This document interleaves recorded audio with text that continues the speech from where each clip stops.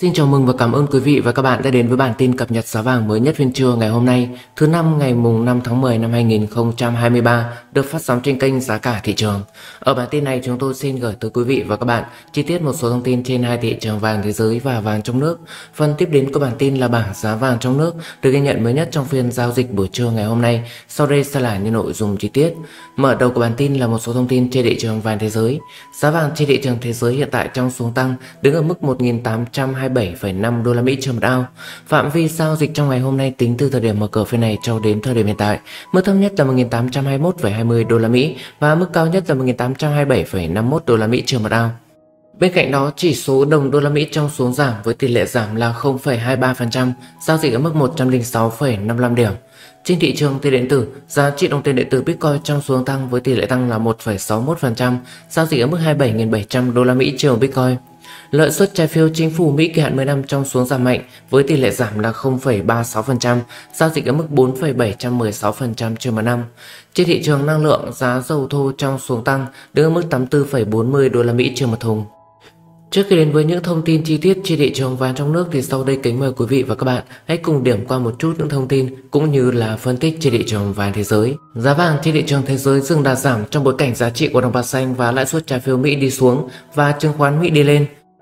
Cụ thể, giá vàng trên thị trường thế giới trong đêm qua gần như chỉ biến động trong vùng giá từ 1.820 cho đến 1.830 đô la Mỹ trên một ao và đến thời điểm hiện tại, giá vàng trên thị trường thế giới giao dịch quanh vùng giá 1.827 đô la Mỹ trên một ao. Như vậy là cao hơn khoảng 5 đô la Mỹ trên một ao so với mức giá cùng thời điểm ngày hôm qua. Ngoài ra, theo giới phân tích, sau nhiều ngày liên tục đi lên, chỉ số đồng bạc xanh đã đảo chiều đi xuống khiến cho giá trị của đồng tiền đô la Mỹ giảm giá so với 6 đồng tiền loại khác. Thế nhưng, giá vàng trên thị trường thế giới vẫn không tăng mạnh, nguyên nhân chính là do thị trường chứng khoán Mỹ hồi phục sau nhiều ngày liên tiếp giảm điểm. Nhiều nhà đầu tư đã đưa vốn vào cổ phiếu khiến dòng tiền chảy vào kim loại quý rất ít. Mặt khác, do thị trường kỳ vọng Mỹ còn tăng thêm lãi suất trong năm 2023 nên lãi suất trái phiếu Mỹ tiếp tục nóng lên lên 4,88% trên một năm, mức cao nhất kể từ năm 2007 cho đến nay. Đến thời điểm hiện tại, theo giờ Việt Nam thì chỉ số này cũng đã quay đầu giảm với mức 4,700% trên một năm. Ngoài ra, theo số liệu mới nhất từ Hội đồng Vàng Thế giới hay còn gọi là WGC, các ngân hàng trung ương đã mua 77 tấn vàng trong tháng 8, tăng 38% so với mua vào trong tháng 7. Trong 3 tháng qua, thì các ngân hàng trung ương đã mua 219 tấn vàng sau khi mua dòng kỷ lục trong nửa đầu năm. Các quốc gia có khoản nợ bằng đồng bạc xanh tiếp tục phải đối mặt với chi phí tài chính cao. Theo Jim Robertson, nhà phân tích tại Green Interest Rate Oliver cho biết cách duy nhất để các quốc gia giảm chi phí đó là đa dạng hóa khỏi đồng bạc xanh và vàng vẫn là tài sản tiền tệ toàn cầu hấp dẫn nhất. Theo Robertson, kỳ vọng đồng bạc xanh sẽ biến động và không chắc chắn hơn nữa khi nợ chính phủ của nước này tiếp tục tăng. Nợ của Mỹ đã vượt quá 33.000 tỷ đô la Mỹ, đồng thời thâm hụt đang trên đà tăng thêm 2.000 tỷ đô la Mỹ trong năm nay. Và nhà phân tích này cho biết thêm, khi mà các nhà đầu tư phương Tây nhận thức được rủi ro nợ ngày càng tăng ở Mỹ, họ sẽ bắt đầu thấy nhu cầu đầu tư vào vàng tăng lên. Tuy nhiên, đà hồi phục của vàng cũng bị kiềm hãm bởi mặt hàng có quan hệ mật thiết với vàng đó là dầu đang suy giảm. Những lo ngại nguy cơ chính phủ Mỹ đóng cửa cũng đã giảm khi mà Tổng thống Mỹ Joe Biden ký ban hành luật ngân sách tạm thời. Trong ngắn và trung hạn thì vàng vẫn đang chịu áp lực từ chính sách thắt chặt tiền tệ của Mỹ. Cục dự trữ bang Mỹ Fed sẽ tiếp tục tăng lãi suất và giữ trong thời gian dài. Quý vị và các bạn thân mến, phần tiếp đến của bản tin sẽ là một số thông tin trên thị trường vàng trong nước. Đến thời điểm phiên trưa ngày hôm nay, mặt hàng vàng miếng SJC trong nước cũng như là vàng nhận bộ số 9 cùng với một số loại vàng nữ trang SJC khác đều được điều chỉnh tăng trở lại. Tuy nhiên thì với mức độ điều chỉnh tăng của vàng nhận bộ số 9 thì mạnh hơn. Cụ thể với công ty vàng bạc đá quý Sài Gòn đang niêm yết giá vàng miếng SJC trên hai thị trường Hà Nội và Đà Nẵng, mua vào mức 68,20 triệu đồng trên một lượng, bán ra mức 68,92 triệu đồng trên một lượng, tăng 50.000 đồng trên một lượng ở cả chiều mua vào và chiều bán ra. Với mặt hàng vàng miếng SJC trên thị trường Thành phố Hồ Chí Minh, mua vào mức 68,20 triệu đồng trên một lượng, bán ra mức 68,90 triệu đồng trên một lượng, tăng 50.000 đồng trên một lượng ở cả chiều mua vào và chiều bán.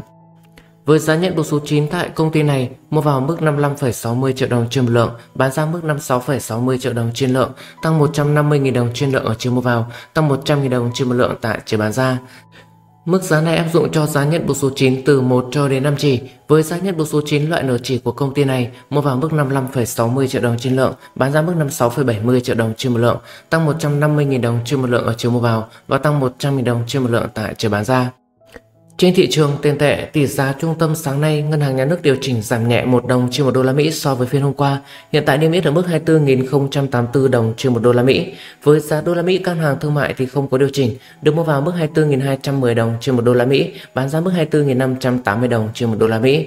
Giá đô la Mỹ trên thị trường tự do mua vào mức 24.500 đồng trên 1 đô la Mỹ, bán ra mức 24.550 đồng trên 1 đô la Mỹ. Hiện tại thì cũng không có điều chỉnh so với phiên ngày hôm qua. Để quý vị và các bạn có thể biết rõ hơn về thị trường vàng trong nước trong phiên trưa nay, phần cuối cùng của bản tin này là bảng giá vàng chi tiết được ghi nhận mới nhất trong phiên giao dịch hiện tại. Kính mời quý vị và các bạn hãy cùng theo dõi và tham khảo thêm nhé. Đầu tiên sẽ là giá vàng SJC tại ba thành phố lớn. SJC Hồ Chí Minh từ 1 cho đến 10 lượng, mua vào 6 triệu 820 nghìn, bán ra 6 triệu 890 nghìn tăng 50.000 đồng trên một lượng ở chiều mua vào và chiều bán ra hay là tăng 5.000 đồng trên một chỉ chiều mua vào và chiều bán. Trên lệch giữa chiều mua vào và chiều bán ra hiện tại đang dao động trong khoảng 700.000 đồng trên một lượng và đơn vị đo bảng giá này là triệu đồng trên một chỉ. STC Hà Nội và STC Đà Nẵng mua vào 6 triệu 820 nghìn, bán ra 6 triệu 892 nghìn, tăng 5 nghìn ở chiều mua vào và chiều bán ra. PNG Hồ Chí Minh và PNG Hà Nội mua vào 6 triệu 815 nghìn, bán ra 6 triệu 885 nghìn. Doji Hồ Chí Minh mua vào 6 triệu 820 nghìn, bán ra 6 triệu 890 nghìn. Doji Hà Nội mua vào 6 triệu 805 nghìn, bán ra 6 triệu 895 nghìn. Phú Quý SCC Mua vào 6 triệu 815 nghìn bán ra 6 triệu 890 nghìn Bảo Tín Minh Châu mua vào 6 triệu 817 nghìn bán ra 6 triệu 887 nghìn Mi Hồng SCC mua vào 6 triệu 830 nghìn bán ra 6 triệu 870 nghìn Tiếp đến là giá vàng STC một số ngân hàng Ngân hàng Eximbank mua vào 6 triệu 820 nghìn bán ra 6 triệu 870 nghìn Ngân hàng SCB mua vào 6 triệu 710 nghìn bán ra 6 triệu 890 nghìn Ngân hàng Tbank Gold mua vào 6 triệu 805 nghìn bán ra 6 6 triệu 895 nghìn Ngân hàng Việt Tiên Banh mua vào 6 triệu 820 nghìn, bán ra 6 triệu 892 nghìn, tăng 5 nghìn ở chiều mua vào và chiều bán ra Tiếp đến là giá vàng SJC một số tỉnh, thành phố khác. Thời điểm này thì cũng tăng nhẹ 50.000 đồng trên một lượng ở chiều mua vào và chiều bán ra, hay là tăng 5.000 đồng trên một chỉ chiều mua vào và chiều bán. Tranh lệch giữa chiều mua vào chỉ bán ra hiện tại đang dao động trong khoảng 700.000 cho đến 760.000 đồng trên một lượng và đang được niêm yết như sau. STC Nha Trang và STC Cà Mau mua vào 6 triệu 820.000 bán ra 6 triệu 892.000. STC Huế mua vào 6 triệu 820 nghìn, bán ra 6 triệu 890 nghìn. STC miền Tây mua vào 6 triệu 822 nghìn, bán ra 6 triệu 895 nghìn. STC Biên Hòa, Quảng Ngãi, Long Xuyên mua vào 6 triệu 820 nghìn, bán ra 6 triệu 890 nghìn. STC Bạc Liêu mua vào 6 triệu 822 nghìn, bán ra 6 triệu 895 nghìn. STC Quy Nhơn mua vào 6 triệu 820 nghìn, bán ra 6 triệu 892 nghìn.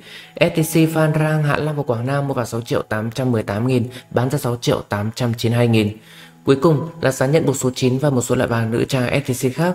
Thời năm nay điều chỉnh tăng trong khoảng từ 42.000 đến 150.000 đồng trên một lượng hay tăng trong khoảng 4.200 đến 15.000 đồng trên một chỉ tùy mỗi loại vàng hiện tại đang được niêm yết như sau.